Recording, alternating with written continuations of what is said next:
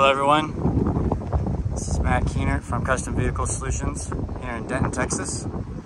Just a couple doors down from the Peterbilt factory. First I want to thank JW over at Rush Truck Centers of Colorado for giving us the opportunity to customize this vehicle for him. Uh, do a little video describing the specs and uh, what we've done to it.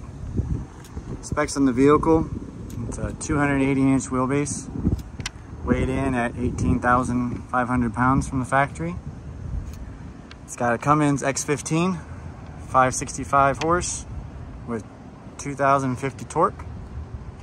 It's got a Fuller 18 speed in it, 308 rear ratio. You see it's got 22 and a half inch rubber all the way around. The sleeper is a 70 inch ultra cab. Rear suspensions, a low, low air leaf. Front suspension is a 13.2 air ride on the front. Here at CVS, we did a few modifications for JW on this unit. See here at the rear, we've got some uh, Hogebuilt low, low fenders with blind mounts. Uh, we also did paint the fuel tanks body color.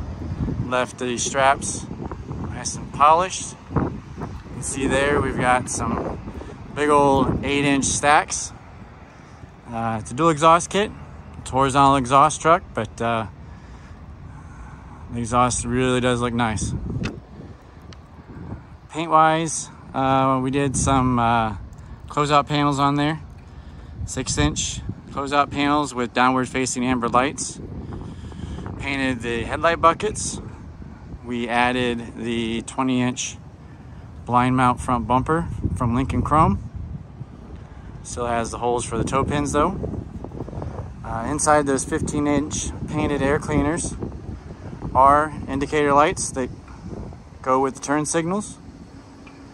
Got the 14 inch deep sun visor there. On this side, uh, we do have the painted def tank cover.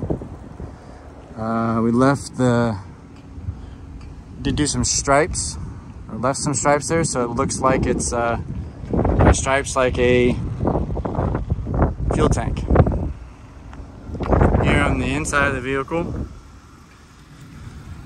we didn't do a whole lot of customizations, but we'll go through the spec real quick. We did throw on some uh, window chops there. Inside, standard 389 air, the 15 inch air or 15 inch display. We got uh, 12 gauges, 12 switches. Here's the uh, 18 speed shifter. These are very nice leather seats with about, from Sears, about every function you could want on them. Back in the sleeper, we did a, uh, turn you the other way. We did do a, uh, where JW had room for a TV. We got a bunch of drawers in this side. On the other side, we have the wardrobe with the refrigerator's top. It is a double bunk.